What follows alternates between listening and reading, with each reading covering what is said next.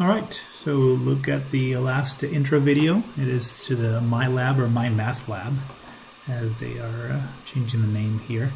So this is where you're going to do your work. So once you sign in, you got to sign in through here first time, and once you do that, then you will be able to uh, sign into My Math Lab directly.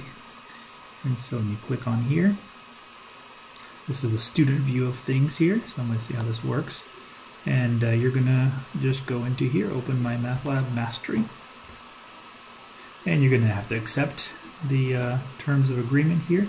And like I said as a 14 day free trial version of this yeah, so you can start the start the class. And if you think you want to drop the class before census date is up no problem whatsoever. Uh, if you want to continue there is going to then be a fee in order to purchase the access to it here. So click on my I accept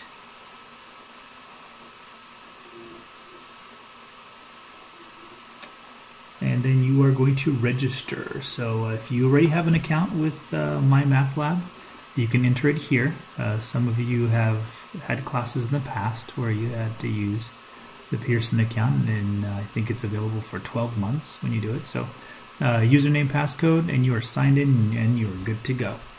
Uh, if you have to create one, then you create one. And there's all the agreement that you have to put in and then you go from there. Uh, and then, like I said, you have 14 days to decide if you want to buy it or you are not going to uh, continue in the class itself. As you log in, this is the instructor home, you're going to see something kind of similar to it. They have a home page here, but you probably want to go off to the side over here to your uh, homework. And homework is just going to be right in order and you can just go through it here. The due date is shown on the side.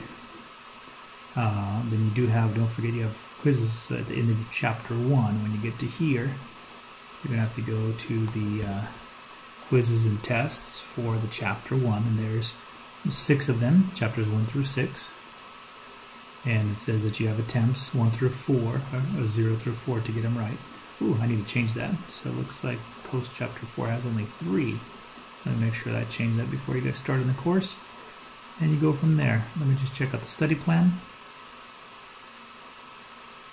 Let's see if that's something that students would see. No, that's not something you guys would see here. So on the homework, back to here, click on the homework page, and uh, you will have uh, some homework questions to do. There it is. Click on the question, and you keep on going at it here. So there it is unlimited number per question for the homework. You click on the quizzes, chapter one post quiz, and um, it is all started there. So you have 13 questions here, and you have four attempts to get it right.